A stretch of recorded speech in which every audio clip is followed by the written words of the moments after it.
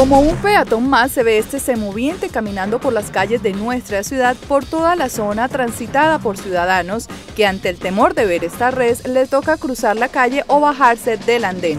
La pregunta es, ¿dónde estará el dueño del ganado y las autoridades de controlar estas situaciones en nuestra ciudad? El ganado al potrero, no a las calles. Por la falta de responsabilidad, un así no es.